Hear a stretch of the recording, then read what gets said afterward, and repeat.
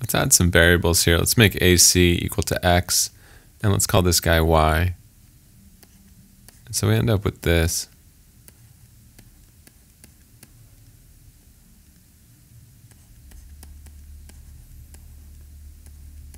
Whatever y is, we multiply it by root 2 to get to x.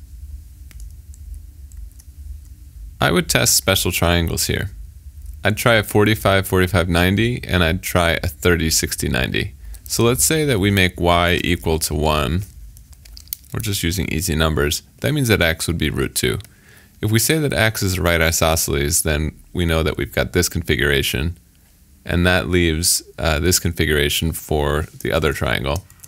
And in this case, the areas are equal because root 2 squared is the same as 1 times 2. Things don't have to be that way. You could have the same relationship 1 to root 2, but you could make this triangle a 30, 60, 90 triangle. So let's say it's root 2, and then let's say this is the side opposite 60, so that would be root 2 times root 3, and then this is 2 root 2. Root 12, which is what this is, is different than 2 root 2.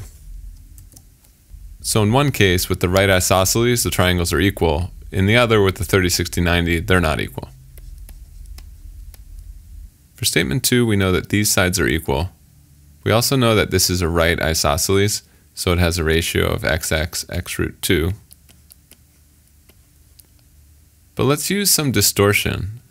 Let's see if we can change this triangle while keeping this triangle the same.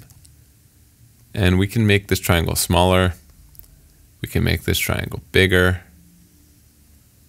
There are infinite ways that we can vary this triangle while not changing this triangle at all. And because we can do that, statement 2 is insufficient.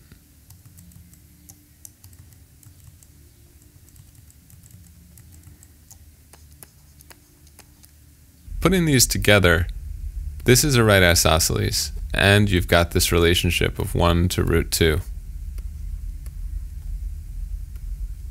And so the product of these guys and the product of these guys is equal, so that means that the areas must be equal.